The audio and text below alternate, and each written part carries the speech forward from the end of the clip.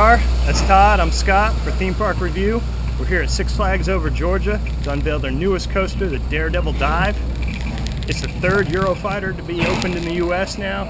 Just got lap bars. We're gonna try it out. Hey, it already feels good. We haven't even hit the lift. this is made by Gerstlauer, who I think is the German cousin of Matt Lauer. I haven't read the media kit yet, so don't quote me on it.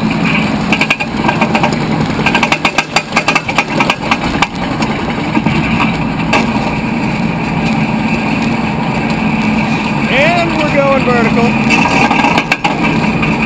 About to feel a lot like Chuck Yeager. Google it, kids. Google it. And we're diving!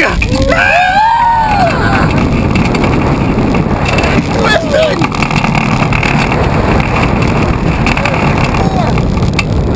The track is really good!